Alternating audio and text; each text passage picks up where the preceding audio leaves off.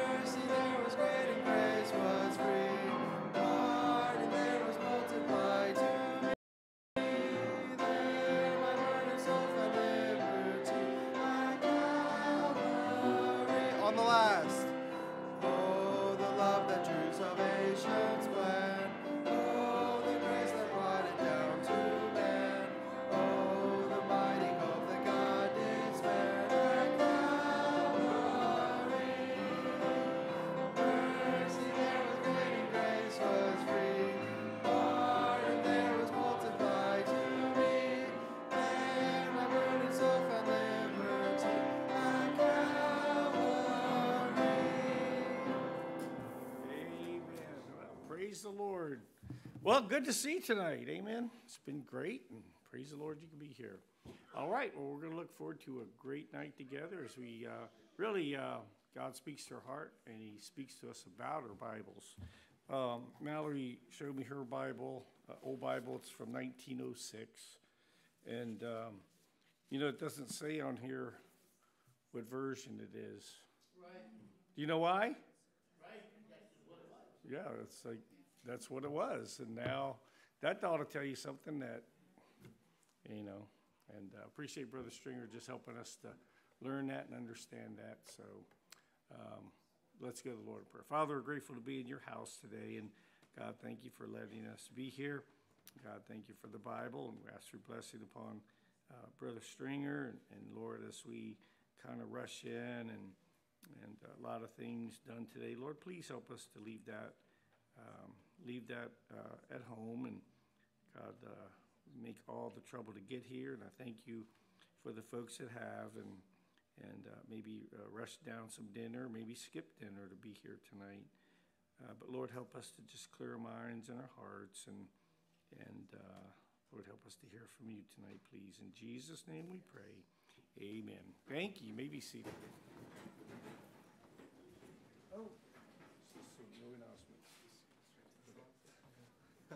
Please stand with me again. Turn to hymn number 145. I love to tell the story. Hymn number 145. We'll sing the first and the last.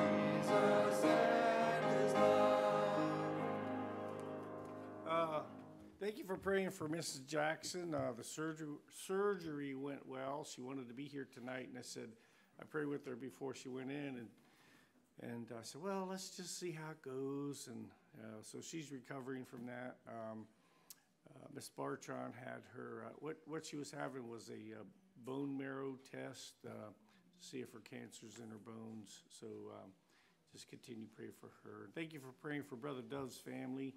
Uh, you know, it was, uh, it was very, very powerful testimony she had, and uh, but you know, still tough when you see, you know, Dad holding two kids and looking at Mom in the casket. But um, but he gave a tremendous testimony of her love for the Lord, and so many other people did too.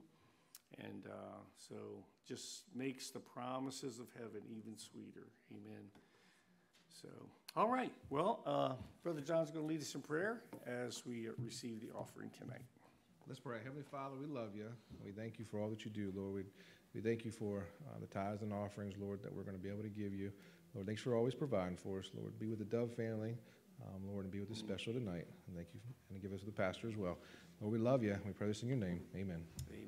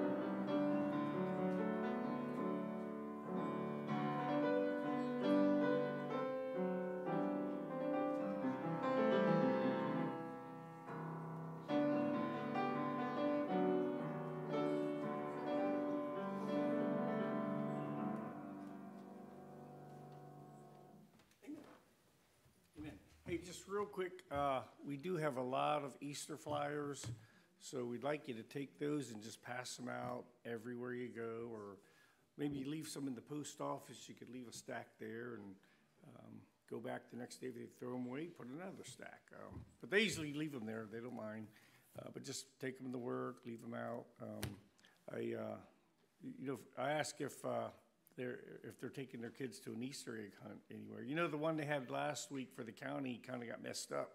It rained and there was no candy in the eggs, and so there's lots of disappointed people say, hey, ours got candy, and all you gotta do is register. And uh, so, uh, so last week was a bust with the county, so, so I asked the guy to- today, I said, hey, uh, um, you know, want to invite you out for Easter into our church, gave him a track, and I said, hey, you got any kids? And he goes, yeah, a little girl. And uh, I said, well, would you like to have her come to the Easter egg hunt? And uh, he said, well, she's kind of little, but we wanted to. And I said, how old is she? And he said, a year and a half. I said, that's the same age as my granddaughter. She's coming. And so we're going to have a section for the little kids like that, right? Zero to three. Zero to three, and then a primary? Four to eight, and then nine to twelve. Nine to twelve. So, uh, so you can let folks, so, you know, because sometimes they don't want to bring them, get trampled. They said, no, no, no, you can bring your little kids. So, yeah, so, uh, use the flyers up, please, please, please. Um, so just to remind you of that. All right, well, uh, again, it's been just a wonderful, wonderful, uh, couple days, and I appreciate Brother, uh, Stringer being with us. And, uh, so let me pray, and then we're gonna have a special in song, and then, uh, then he's gonna come up, okay? Father, we sure love you, and thank you, thank you, thank you for, uh, uh, just a man like Brother Stringer, and Lord, there just seems like there aren't many, and so we're very, very thankful for him and, and for his heart for you, and God, we just pray to you'd, uh, just give him strength and clarity of thought, and, and the Lord, just fill him with thy spirit tonight, and give us ears to hear, and bless now this, uh, special song is offered to you, that it would be uh, honoring and and that you be pleased. In Jesus' name we pray. Amen. What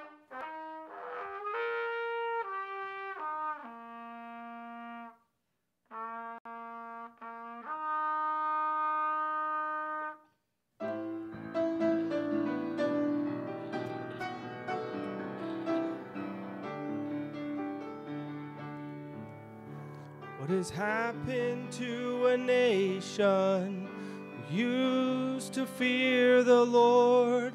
To a people whose foundation was built upon God's word. We've allowed the world's opinion to chart a different way. But it's time the church of Jesus Christ should boldly stand and say, God's will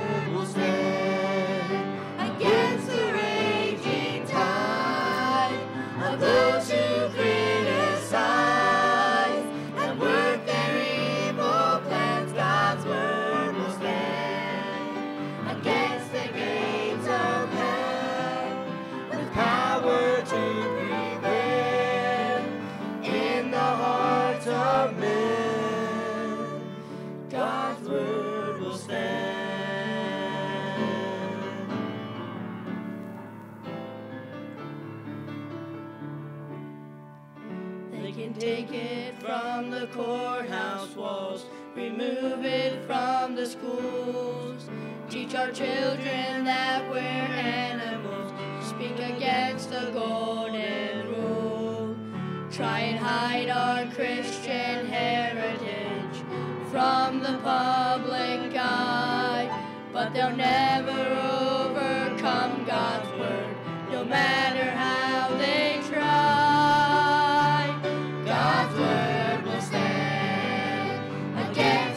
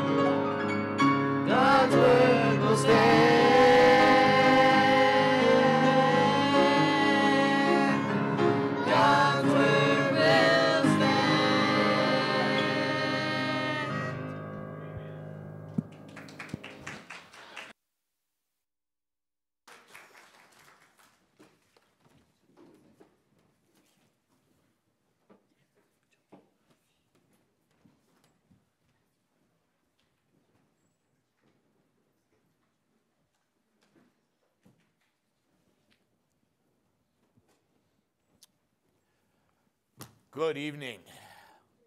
Boy, it's good to see you all here. Good to see such a wonderful group of young people here.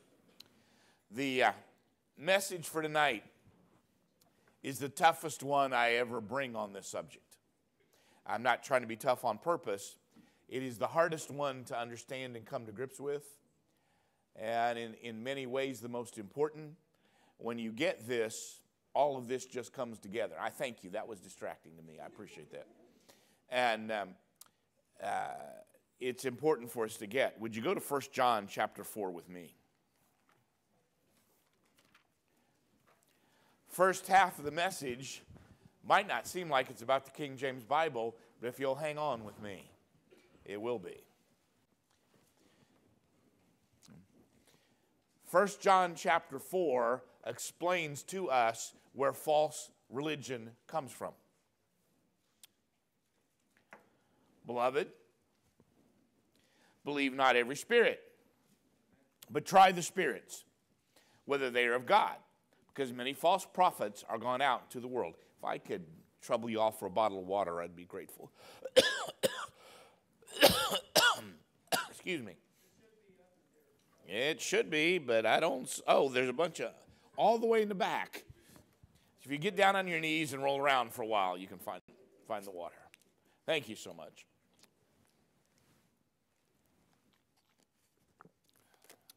Glad they don't believe in baptism by sprinkling. They could never find the water. Beloved, believe not every spirit, but try the spirits whether they are of God, because many false prophets are gone out into the world. This is where false religion comes from. You ready? From Satan to evil spirits to false prophets to unsuspecting followers. I'm not saying the folks that follow this know what they're doing. I will tell you the false prophets that initiate these things know what they're doing. Obviously, the evil spirits know what they're doing. And if you take notes of any kind or you just got a good memory, if you get a handle on this, it'll help you see a lot of situations. False theology comes from Satan to evil spirits. Okay? Satan to evil spirits, from evil spirits to false prophets, from false prophets to unsuspecting followers. Right? It's important. So, uh, how, do, how do you know you're dealing with false spirits? Verse 2 Hereby know ye the Spirit of God. Every spirit that confesseth that Jesus Christ is come in the flesh is of God. And every spirit that confesseth not that Jesus Christ is come in the flesh is not of God. And this is the spirit of Antichrist, where ye have heard that it should come, even now is it already in the world. Story to deal with every religion, you want to ask, where did this religion come from? Where did the teaching come from? Where did the ideas come from? Where did the theology come from? For example, Islam. Islam begins, according to Muhammad, he marries a widow who owned a caravan route that went between two cities in the Arabian Peninsula. It was a two day trip. He becomes responsible for the caravan route. They would stop overnight at a little oasis with a small cave. He would stay in the cave, and according to Muhammad, spirits began to appear to him. And those spirits claimed they were angels. And the angels told Muhammad that the truth had been lost on the earth since the first century, but God had chosen him to be the man that would restore the truth, and the spirits would then give him revelations that resulted in the Quran. And in the Quran, the spirits taught him that while Jesus Christ was a great prophet, he was not God in the flesh. And taught him that you specifically that you should never trust the blood uh, idea of a blood atonement for man's sin. Out of that spirit revelation came Islam. Now, when a person tells you a story like the story that Muhammad told, there are three possibilities.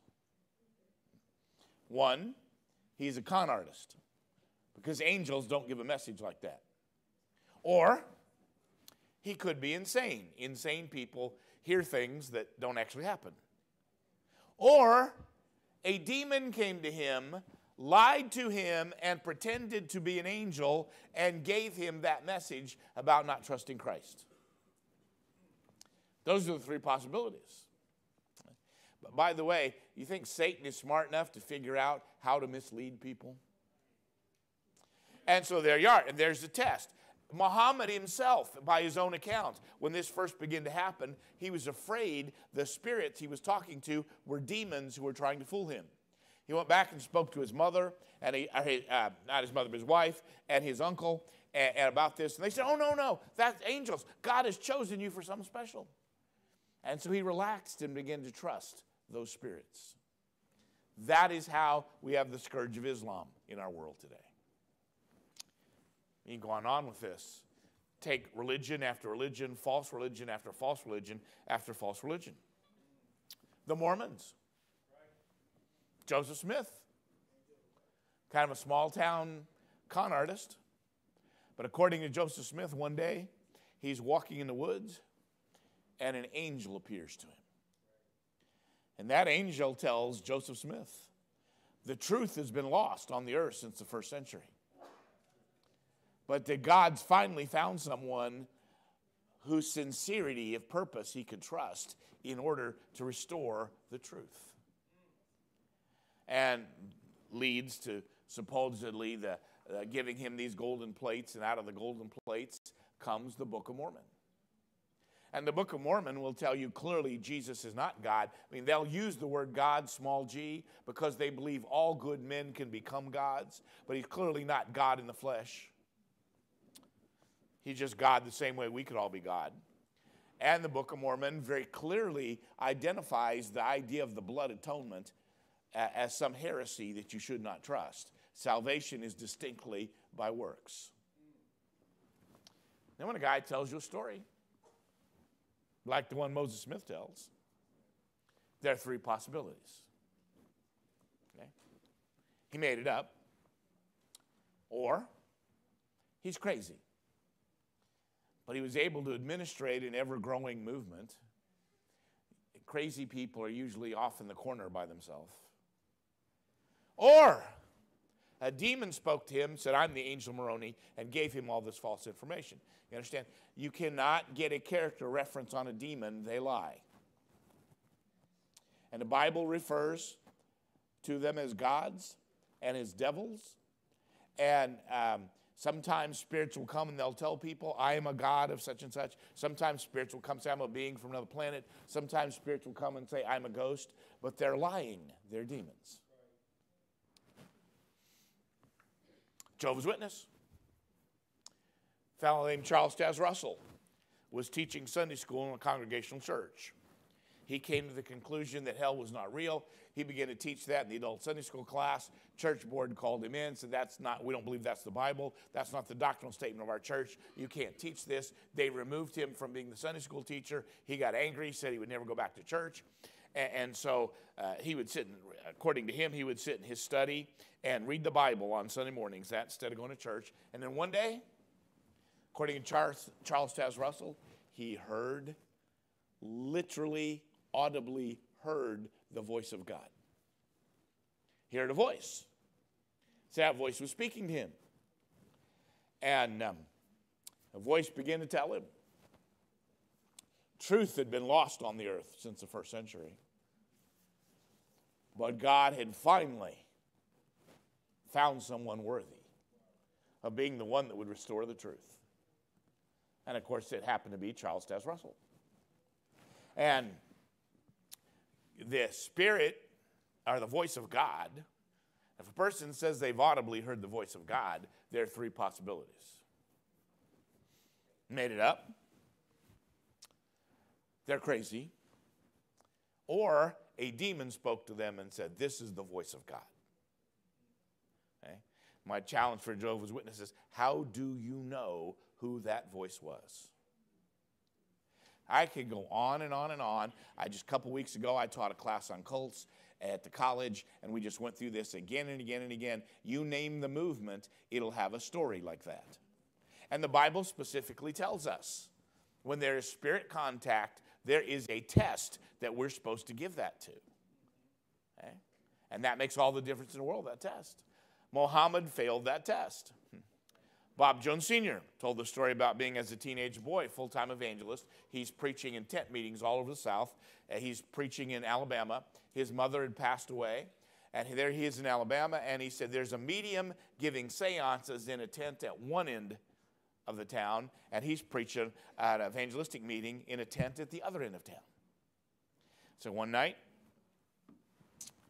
he was curious what they were doing in the medium's tent. His service was over, theirs was still going on. So he just slipped down and uh, went in the tent, just thinking he'd watch. So he got in there sitting in the back, and the medium was on a platform uh, with a table, and she said, Uh, ladies and gentlemen, we have a distinguished visitor here with us tonight. Evangelist Bob Jones is here. She said, I'd like to ask him to come up on the platform and tell me who he would like to speak to from beyond. And I will bring up anybody he wishes to speak to. He thought it was nonsense and he would go up and nothing would happen. He went up and sat at the table, and in, by his own testimony, a white, shadowy shape like nothing he'd ever seen before appeared over that table and began to speak to him with a voice that sounded identical to the voice of his mom. By, by, the way, don't be shocked if demons can imitate voices. There are people who can imitate voices.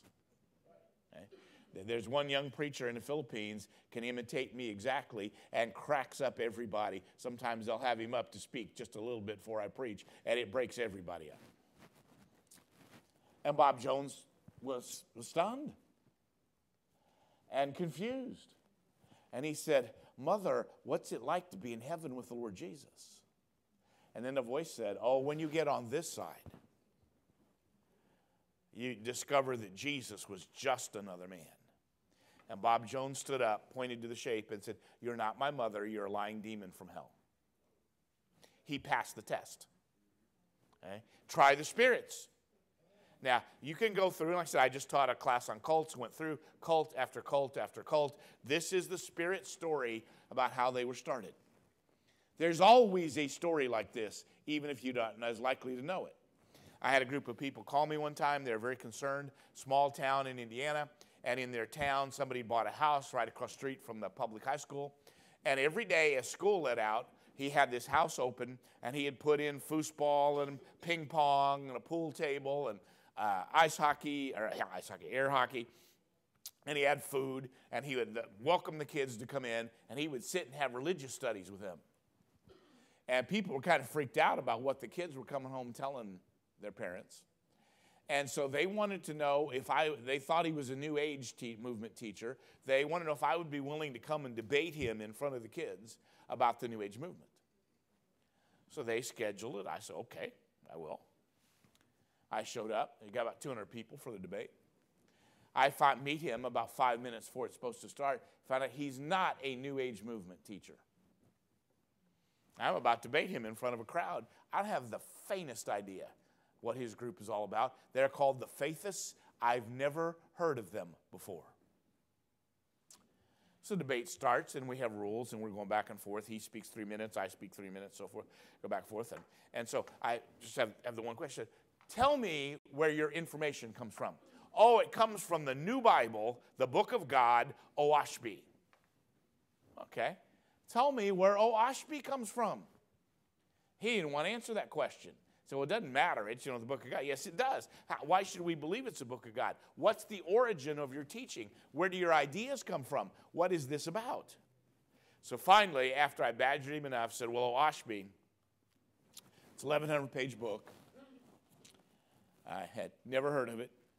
I had even trouble finding a copy after it was over. I finally found one on the internet for $1,000, and I just didn't want it that bad. But in the eight, late 1800s, there's a man named John Newbrough. Never heard of him before or since. But there was a man named John Newbrough in England, and according to Mr. Newbrough, angels would come and possess his body. Mm-hmm. And the angels typed out through his fingers a new Bible. 1,100 pages. I said, and when I told that I said, thank you, sir. Now I just have one more question. What does Oahspe say about Jesus Christ? He didn't want to answer that one either.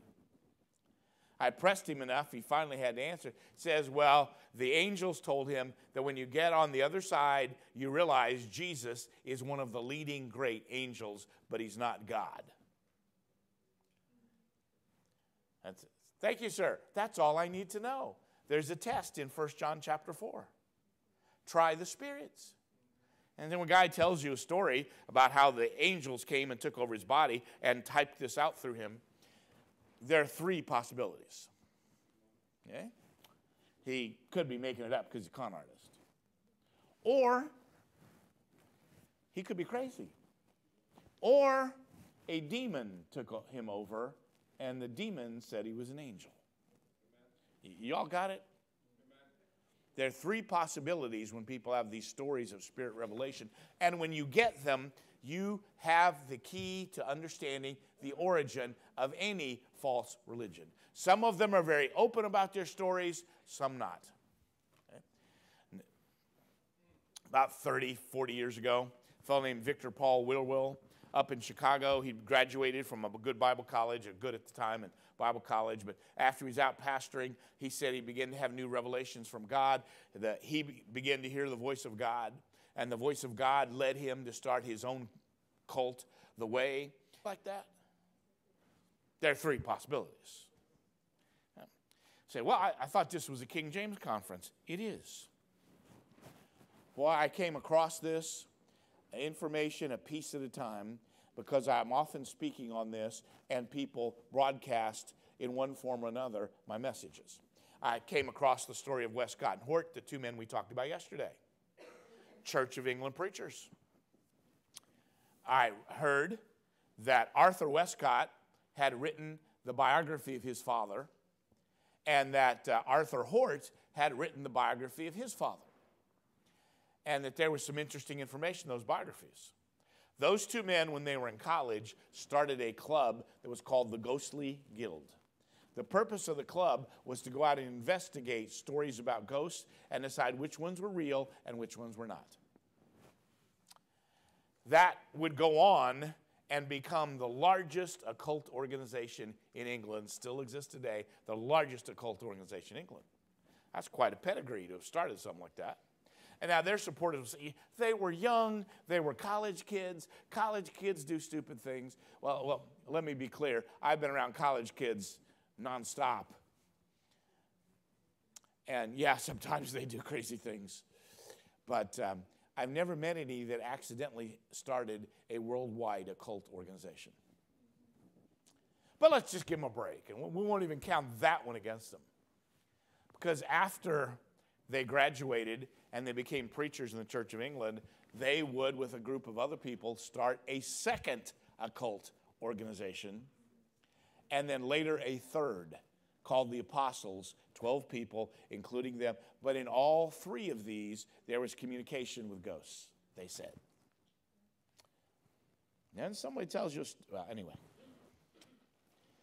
And Arthur, by the way, a lot of folks around and say, well, those books don't exist. Uh, people just made that up. It's not real. And, and I went through wondering about that. I heard about those books. I, I, I got on books in print because I wanted to try and order them. Couldn't find them. And people say they don't exist. People check the books aren't real. And, and I mentioned to somebody, I can't find them. And they said, Phil, that's books of print in the United States. These men were in England. Where do you think the books were written? And I checked and I ordered them out of a service in England, and I have the books. I've seen them. I've seen them so recently. I was sending out an email to answer a question about them right before we left for the airport on Saturday. The books aren't even back on the shelf, they're on my desk. They're real. And in Arthur Westcott, uh, both books, both those men, according to their sons, believed in what's called the communion of the saints. The communion of the saints is a belief that when people die, their spirits do not go out to eternity right away. They hang around the earth for a period of time. It's a serious teaching. There's a whole cult built around it called anthroposophy. When I was pastoring in Chicago, we were surrounded in four directions by apartment buildings. Okay? And about two blocks down from the church, there was a little thing called a little white frame building that had a sign that said Community Christian Church. Well, that sounded interesting. Didn't really know what it was. One day I was out with the assistant pastor, and, and we saw a guy going in that looked dressed like he might be a pastor, and we stopped. We introduced ourselves and, and told him, so we're, we're from the church down the couple blocks. And he goes, Oh, he goes, I know exactly where your church is. He said, The apartment building to the north is our international seminary. Oh, really? Didn't have a sign? He said, Yeah. He said, We bring young people from all over the world there to train for the ministry. And then went on to explain they believe in the communion of the saints and that they practice ministering to people's spirits before they're born, while they're alive, and after they're dead. And they said, when we start a service on Sunday morning, the spirits of those not yet born will come and be in the service with us, and the spirits of the recent dead will come and be in the service with us, and all three of us worship God together.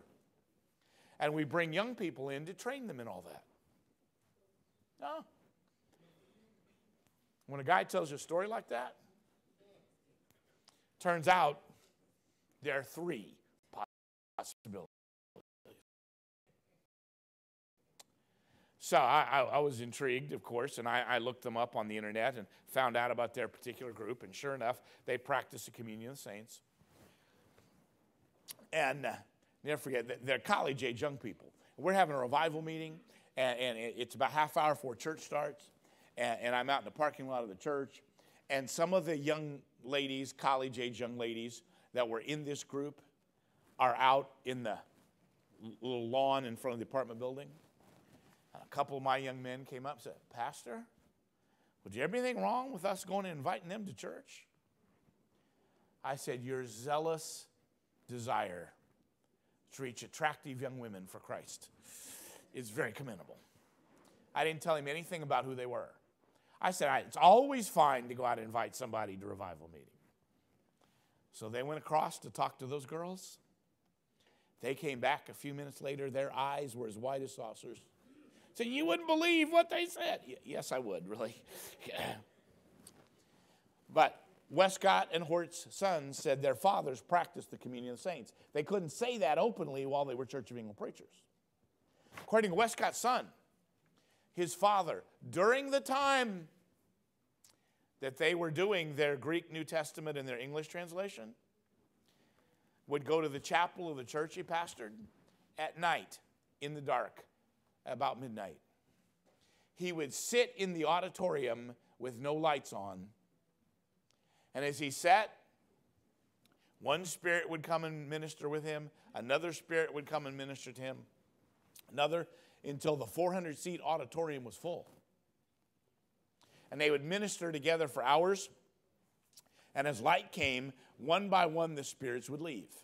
And when they'd left, he would come over, get his breakfast, and he would sleep during the day because he spent all night in the church auditorium in the dark. When a guy tells you a story like that, turns out there are three possibilities. And I don't care which one is true, I do not trust him to be a Bible translator. If he's a con artist who made it up, I don't trust him with the Bible. If he's crazy, I don't trust him with the Bible. And if he spent the night with 400 spirits night after night after night, I really don't trust him with the Bible. And you, y'all got it? This is serious business. See, every major English translation is entirely, except King James, is entirely or a little bit based on the work of Westcott and Hort. Do you trust them handling the Bible? And, and when I was talking about this in a message, and I point out that I've got a book called Communicating with the Spirits, and it's the story of a Catholic priest in Germany in the 1930s. He got kicked out of the Catholic Church because he began to get up and preach to his people that on a routine basis, spirits came and communicated with him, and those spirits taught him and the spirits told him indeed that Jesus was not God and they should not think Jesus was God. The spirits told him that the idea of a blood atonement was heresy. And the spirits told him, according to him, that no matter what you do, never, ever, ever trust a translation of the Bible from the received text. The Lutheran Bible is from the received text. And Catholics kicked him out. And so I told that story, and somebody heard it, and they got a hold of me, and they said, Brother Stringer, you don't know the rest of the Greber, Johann Greber. You don't know the rest of the Greber story, do you? I said, apparently not. He said, they said, he moved to the United States after he got expelled as a priest. He came to the United States, and he translated the Bible into English. And that Bible today is published by the Spiritualist Church, and it's their official Bible. So I called Spiritualist Church in Flint, Michigan. Yeah, they sell those Bibles. I ordered one, I got it sent to me. Boy, it was a revelation. In the opening chapter, it says the very spirits that had spoke to him in Germany came to the United States and they dictated to him word for word the proper translation of this Bible. Now, you never guess what the Bible, his Bible says about Christ. He was not the God in John 1, he was a God. And in 1 John 4, it doesn't say try the spirits. In that Bible in 1 John 4, it says trust the spirits. There's a shocker, isn't it? And you can guess how, how plan of salvation and so forth has changed in that Bible. It is still the Bible of the spiritualist church today and still influential. You see, Satan's clever enough to figure out if he can put something in front of people that they think is the Bible, that it has the wrong information in it, they will be persuaded. So I mentioned that. And again, a different person gets told me, says, You don't know the rest of the Greber story, do you? Apparently not. They said, Did you know that when the Jehovah's Witness translators translated the New World Translation, they had the Greber Bible in front of them as a guide, and that they took their heretical translation of John chapter 1 in the beginning was the Word, and the Word was a God? word for word from Greber. So I looked that up, and sure enough, that was influential in the Jehovah's Witness translation of the Bible. Boy, when I was in Bible college, I worked at a public library. It was just a 10 minute walk from the college, and, and I had trouble parking there, so I just park at the college. I had to walk over to the library, work there, and walk back to the college and drive home. And uh, that, I had an unusual job. In those days, the state of Indiana had a bizarre law that said libraries could never give away or sell books. If library was done with a book, they had to dispose of it. And they literally crossed the street from the main library, they had a burner. And one of my jobs, the librarians would set out the books they wished to discard I would get a cart. Every day I would go around, pick up the books they wished to discard. I would take them across the street and I would burn them in the burner.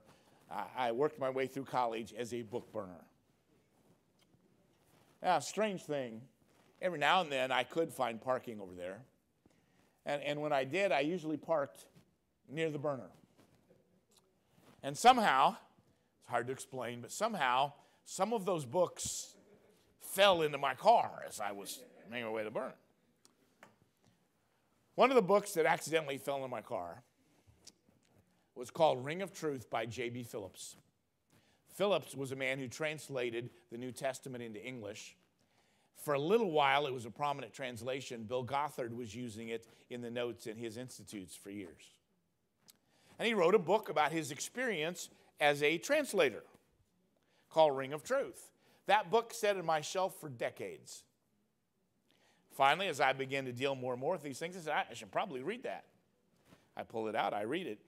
And in one chapter, he tells this story. Said he'd written the noted linguist, literary man, C.S. Lewis. He asked him a question about how he should translate a particular verse.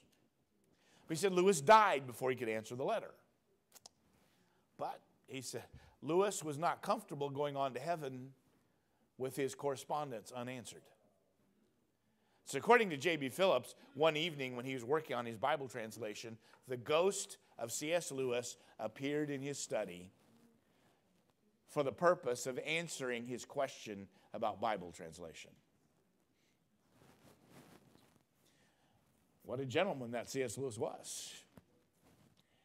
When a guy tells you a story like that, you might be able to figure this out. There are three possibilities. Either J.B. Phillips, respected uh, university professor, was a con artist, or he was insane, or a spirit appeared to him and told him he was C.S. Lewis and helped him figure out Bible translation. He does not tell us, I wish he did, what passage they were discussing. But I will tell you that if you get a Phillips translation, it is extraordinarily weak on the deity of Christ. What a shock. So I told that story. And somebody said, Brother Stringer, have you ever read the story of Joseph Smith's Bible translation? No, but I, I, I looked it up. I found it. I ordered the Joseph Smith New Testament. And in the opening chapter, Joseph Smith tells a story how he and another man, that spirits came to them and talked to them about how to translate the New Testament. They gave them words that were not in any Greek manuscript anywhere and told them not to use words that were well established in the received text. And, and the spirits warned them about not looking to the received text, the majority text, for any information. And, and, and of course, if you look in their translation, very clear. What a shock. So I'm, I'm telling those stories, and somebody said, Brother Stringer, are you familiar with Virginia Mollenkott? Well, I am. She was one of the key people in the New International Version translation. She is the one I mentioned last night. She graduated from a Christian school, went to a fundamentalist university, got a graduated, got a master's degree, got married, taught at that university. Then she and her husband went to teach at another fundamentalist university. And then, in her her phrase, she got set free from the King James Bible. When she got set free from the King James Bible, she discovered she was a lesbian and she divorced her husband and began to live with a woman. And she wrote several books about how the whole Christian conception of criticizing homosexuality was based on mistranslations in the King James Bible. And I had read one of those books, but somebody said, well, you know, she's got another book called Sensuous Spirituality. Said it might interest you. And I read it, and she tells the story how that after she got set from the King James Bible and publicly admitted she was a lesbian, she began to hear the voice of the Holy Spirit audibly. Not only did she hear the voice of the Holy Spirit audibly, angels began to appear to her and speak to her audibly. And then, quote, a multitude of other spirits began to appear to her and speak to her audibly. What exactly are the other spirits? And they begin to guide her in all this truth. And she began to discover. She, see, abortion is not wrong because the spirits are already pre existing. And when you have an abortion, it just means the spirit that would have gone into that body cannot go into that body, but they go into another body, so it's okay. She knows that because the spirits of the unborn told her. Y'all know how this works, don't you? When somebody tells you a story like that, there are three possibilities. Do you know how many independent Baptist churches Sunday the pastor was standing in the pulpit with a Bible that she helped to produce? And she learned other things. And of course, she, she learned that God was female. And she learned that, that God is a spirit, uh, created our spirits, but so that we could lead a succession of lives. And she wrote a series of books on all this. She wrote a book called Omnigender. Fascinating book. It is one of the origins of the omnigender revolution today. This, the omnigender book says this is the will of God for us. This is what we have to come to grips with. You know the spirits tell you this. Said that man should not be limited to two genders. We need to build a culture where it's a fluid gender culture where you can be any gender you want to be on any day that you choose. Absolutely free from the two gender model. Sound like anything you've heard recently? And she was one of the pioneers of the omnigender theory.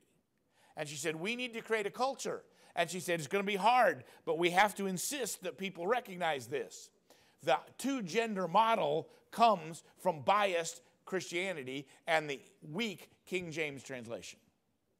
And we have to insist that people abandon that model because if they don't abandon that model, other people can't be free.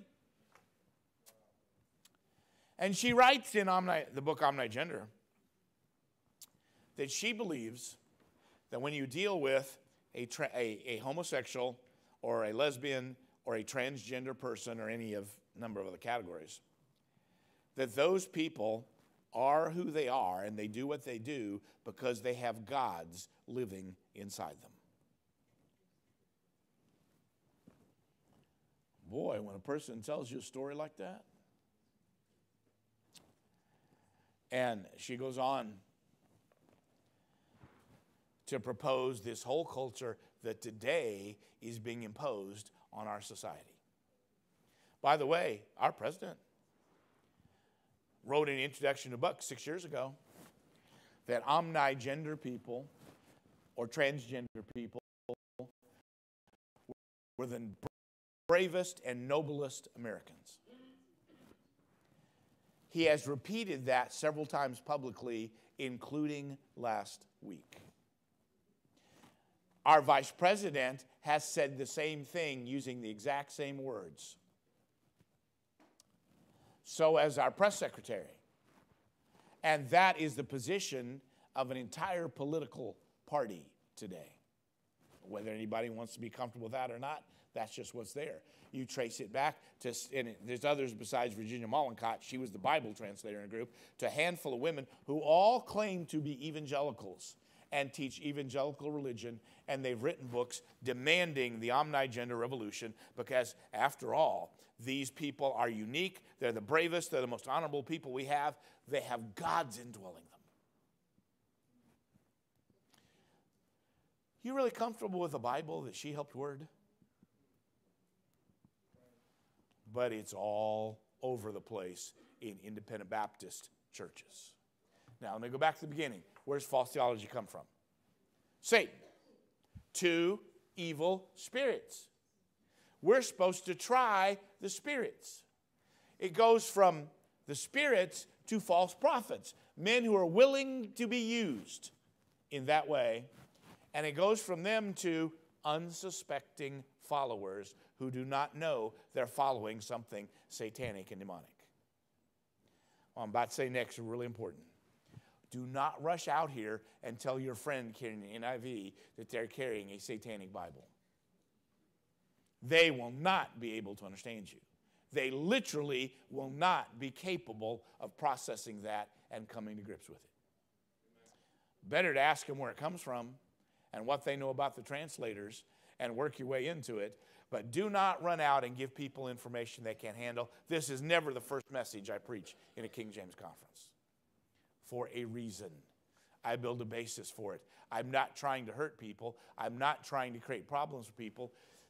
But we need to understand this and think with me for a minute. If there's a Satan, and we would all agree from the Bible there is, and he's clever, I think we would expect that. Look how he fooled Eve. I could say, look at the times he's fooled you, but we'll just move on. Could you think of a more clever way to sidetrack Christianity than to put something that was marred by spirit contact and influence in front of people and tell them it's the Bible? Now, I want you to watch this. People who've grown up on a King James Bible, and you put an ESV, you put an NIV, you put Holman Christian Standard Translation in front of them. They read it and they interpreted in the light of the way they were trained on the King James. So they say, I don't see all this stuff there. That, that's because you had something planted in you. What happens to the next generation that did not have that implanted? We're seeing things right now in fundamentalist and independent Baptist circles you would never have dreamed of a few years ago. You're seeing Bible colleges admit homosexual students and defend them. So, where did we get all that? They've been using the wrong Bibles. Don't tell me it doesn't matter which Bible you use. It matters big time which Bible you use. Where did they get all this we can anything goes? Well, if we don't have an authoritative Bible, then wouldn't anything be okay? But if we have an authoritative Bible that makes up for our own lack of understanding and information, and that Bible tells us, and among other things, it tells us to try the spirits. And I've got a Bible that has been influenced by spirit contact on Westcott and Hort, I should be asking questions about that. This extraordinarily serious thing. You saying all these other Bibles are a satanic plot to deceive people about the truth of Christianity? Yeah, I really am. That's not the first thing I would tell my friend that's carrying an ESV. I would wait, if I ever brought it up, till I had the right moment in order to make the case. My wife and I went to hear a friend preach recently who's not with us on this. He preaches from the ESV. And uh, went, but we went just to be friendly and supportive. And we went, he's preaching this passage, and it's open to the ESV. And what he preached was good, but it didn't match his text. He grew up on a King James Bible. He had a good sermon outline consistent with the truths that were in the King James Bible. And he didn't even get it. And I'm sitting there, frankly, I'm wanting to laugh, but I don't. But I'm nudging my wife. Uh, that's not what he said. What he said, he got from growing up with the King James Bible. And his mind, when he reads that and the ESV says something different, his mind goes back to that which he was taught as a child. So he didn't get it. If you tried to tell him that passage you just preached from is wrong, your sermon was right, but the passage you just preached from was wrong, he wouldn't understand what you were saying. I'm telling you, Satan is extremely clever. Since I've been preaching about this, folks have bombarded me with other pieces of information. Manly Hall, leading Mason, and the high rank where, where they look and practice the occult. And Manly Hall writes and says, if we could ever get rid of the King James Bible, we could have the one world religion we want. It's the people using the King James Bible that stand in our way. Madame Blavatsky, founder of Theosophy. Theosophy is a religion that teaches that all the answers in life were found by communicating with spirits, which she began to do when she was young. See, there's seven levels of spirits. And as you go to the first level, they'll help you in these areas of life. And in the second level, those spirits will help you in other areas of life. Third level, those spirits. When you get to the seventh ultimate level, which she has done, one of the things the spirits will tell you Jesus was not God. And the blood atonement is a heresy because salvation is by works. And never, ever, ever trust a Bible from the majority text. Huh? And uh, she recommends, by the way, anything based on Westcott and Hort. So she can be real comfortable because there's a bunch of them based on Westcott and Hort today. I pastoring in Chicago, and we had a young lady, Muslim young lady, got saved, and she's coming to church. And uh, we'd given her a Bible, but she noticed a lot of our folks had carried black leather reference Bibles. She's a brand new Christian. Okay?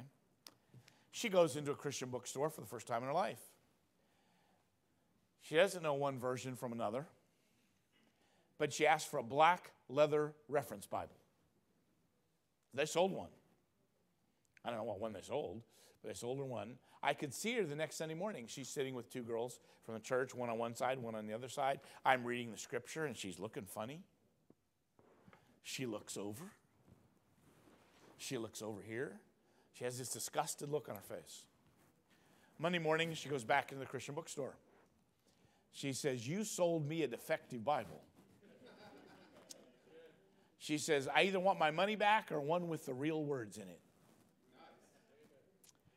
She did not mention a King James translation. She didn't know anything about that. Just asked for one with the real words in it. You know what they gave her? They gave her a King James Bible when she asked for that.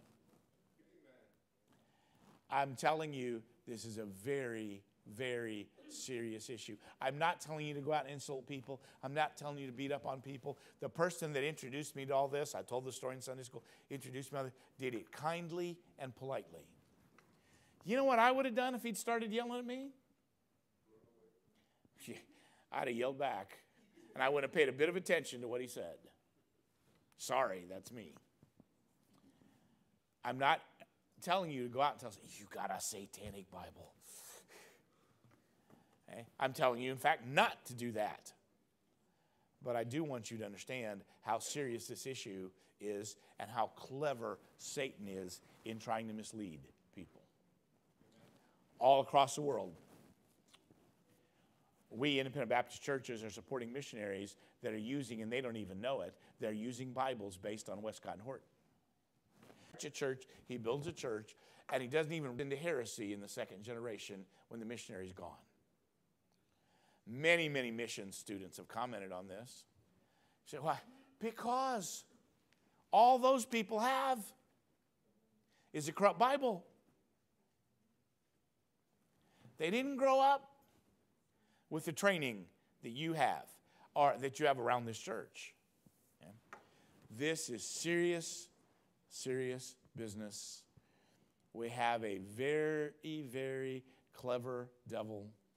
And if you want to get the whole thing, read and understand the omni gender movement of our day, just read Virginia Mollenkott's book, Sensuous Spirituality, that puts it all in perspective.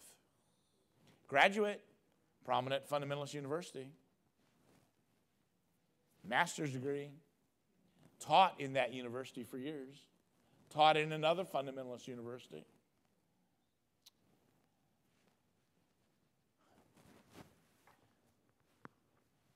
I really, I, I, I'd started this direction. I really got the whole picture where I'm reading J.B. Phillips, Spirit of Truth, A Ring of Truth. He called it Ring of Truth because when he was doing his translation, he, the way he translated it was how it rang true to him. He, he wasn't obligated to the words, it was how it rang true to him. And he told about the ghost of C.S. Lewis helping him. I'm saying this guy is accepted in evangelical preacher ranks, and his Bible was once widely used. Are we no more discerning than that? Because here's what's happening. You need this Bible. It's new. Yeah, but where'd it come from? We need this Bible. It's easy. Why is it easy to understand? Not all Bible truth is easy to understand. Why is your Bible easy? Well, you need this Bible. It's popular. You need this Bible. It sounds just like the daily newspaper. Really? That's a qualification for a Bible? I uh, was pastoring in Chicago. Our family doctor was a member of the church. My wife had concerns. She went to the doctor. He ordered tests. It's a Wednesday afternoon.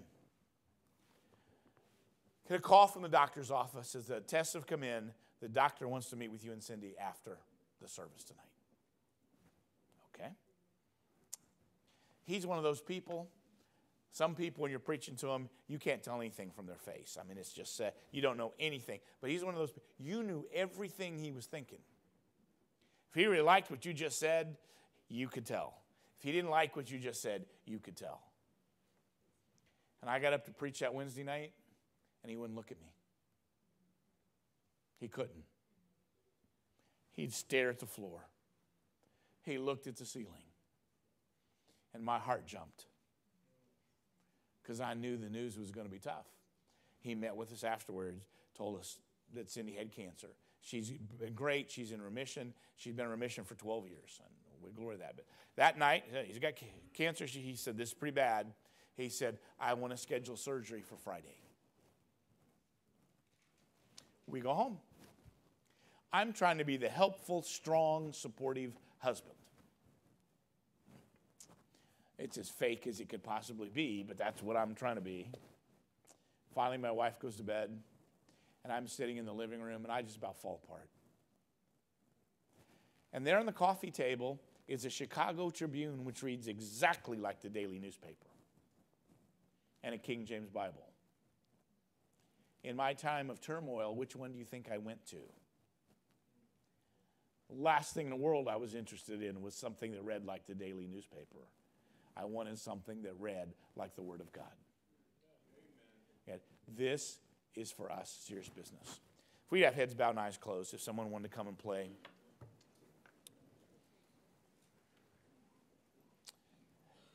Dear Heavenly Father, I just pray you'd work among our folks here. They're good folks. They've come, they've listened, they've evaluated. They've been a great audience to preach to on difficult topics. I just pray you'd stir in their hearts. Father, help them to grasp the importance of this and the seriousness of it. In Jesus' name I pray. Amen. Would you all stand with me?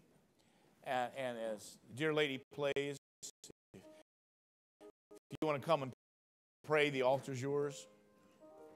If God uses this moment to speak to your heart about salvation or about some other issue, do not miss this moment if God's dealing in your heart.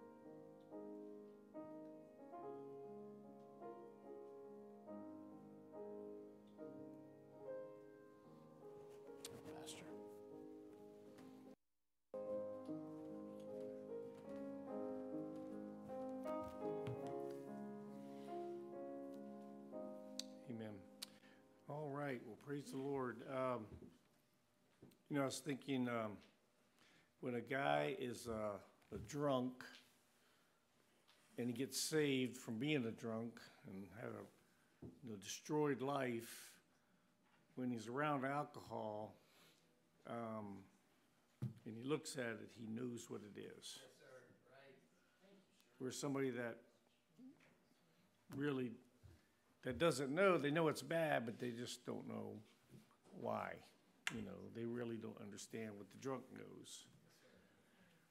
And I feel like, uh, you know, after tonight, this week, you know, you know, like, yeah, we're King James, we believe the King James, but now when I, you know, when you see that, it's like, you know better what it is. Know, because most people, like you said, most people just don't, you know, you know, it's what our church uses, it's easier to read. How many times you heard that? It's just easier to read, you know, but, you know, um, so we need to pray for wisdom and, you know, when, when, when folks just, you know, if we can help them, uh, but at least strengthen us in that, amen. So, well, hey, Brother Green, it's good to have you today, amen. Both you guys. And uh, so we have a gift for you, Brother Green for any pastor that comes. We have a gift and a, a candy bar. And uh, also, uh, if you'd like to get a book from the table, if he doesn't have it, if it's sold out, we'll get it to you. So uh, good. Thank you for coming tonight. Amen. All right. Well, good, good, good. Praise the Lord. All right. Well, uh, we have one more night. Brother, Brother Chris, good to have you and Brenda with us tonight. Amen. Praise the Lord. Good. Uh, we have one more night, and uh, man, it's been really good. A lot to take in, isn't it? So, all right, Hunter, would you uh, close us in prayer tonight, please? Okay.